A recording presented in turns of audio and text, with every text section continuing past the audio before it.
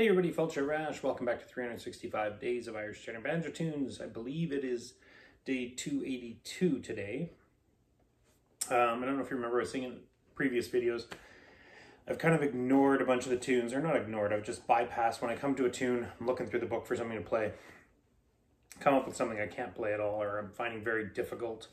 You know, initially it was because I was just starting, I was very, very beginner, and I couldn't play you know, 80% or more of the tunes in the book.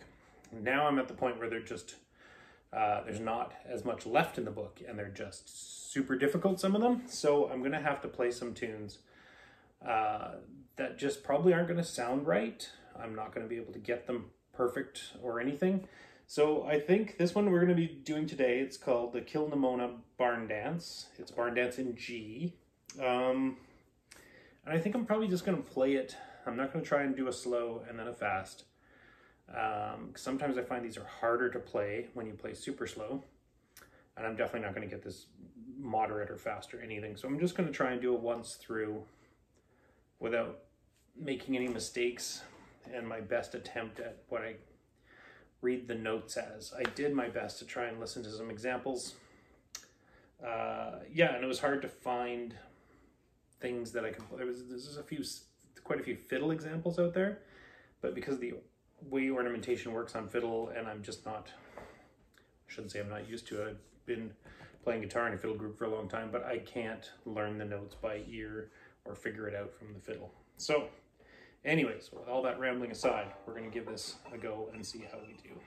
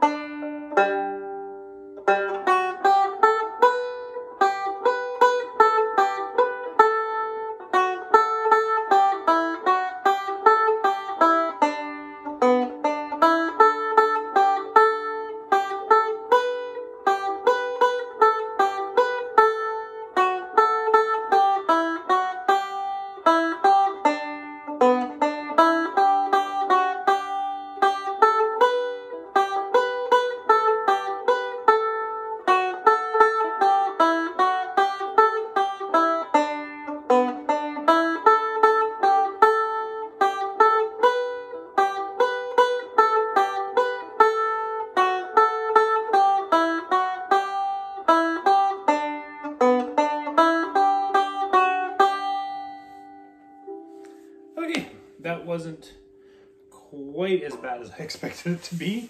Uh, it did take quite a bit of practice to get it to the point where I, I don't I don't know that I was making a lot of mistakes.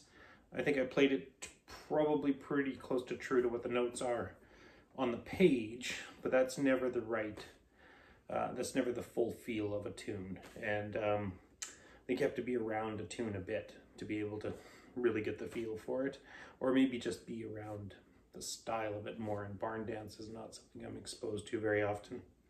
Anyways, I think that's it for tonight, and we'll see you all tomorrow. Slán.